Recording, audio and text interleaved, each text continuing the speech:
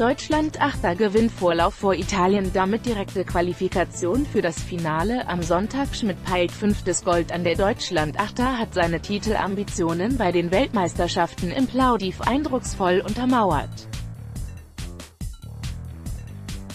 Das Flaggschiff des Deutschen Ruderverbandes, DRV, gewann am Mittwoch, 12. September 2018, seinen Vorlauf souverän vor Italien und dem EM-Zweiten Niederlande und zog damit auf direktem Weg ins Finale am Sonntag 12.15 Uhr im ESZ ein.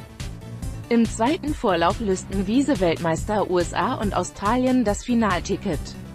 Die USA waren dabei in 5:19,20 Minuten etwas schneller als der DRV-Achter, 5:22,88.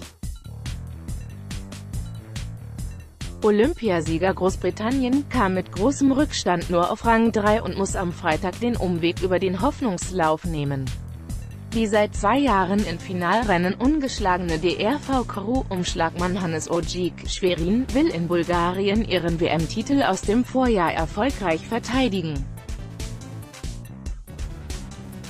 Nie zuvor hat ein Deutschland-Achter in der exakt gleichen Besetzung zwei Weltmeisterschaften in Folge gewonnen.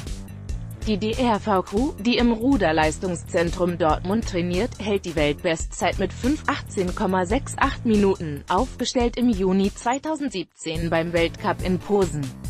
SIT, Stand 12. September 2018 11.54 Uhr.